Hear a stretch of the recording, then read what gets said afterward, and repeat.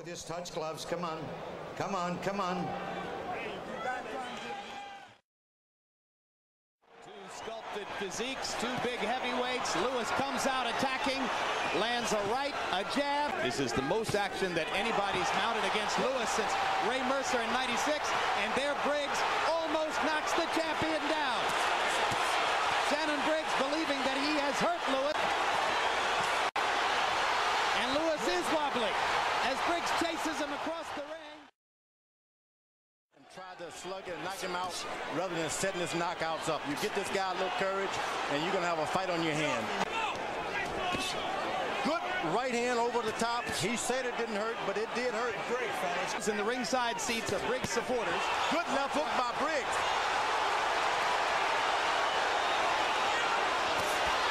Hard right hand over the top by Briggs.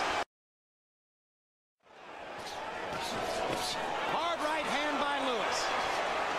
Briggs can't see Lewis's right hand over the top. Briggs missing.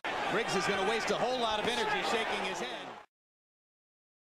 Round four begins. Harold Lederman, how'd you score the first That was the left hook. Yep, Tremendly threw Real quick hook. to the one. Better hurry. Briggs has wobbled. Just as you said, George. I trained in training camp for right hands. You throw a left hook, you, you get him. Right hand lands flush for Lewis. Briggs. Every tick goes by is a tick in Shannon Briggs' favor. Yeah, but that wasn't in Shannon Briggs' favor.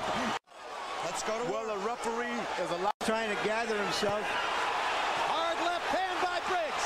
Lewis is hurt. And he comes back with his own left hook. And another right hand. And Briggs turns to our table to tell us that he's all right. Landing flush with too many power punches. Just too much punishment. Air power punches and get his man out of there. Now, when you have an opponent like Briggs, And that will be it. Pro Big Briggs crowd screaming for their man. Bravery for which Briggs is going to pay. well, if you're in New York tonight, you can be proud. You know, this guy has shown, hey, I'm just not a. He slipped down that time. And that's all. Yeah, good enough.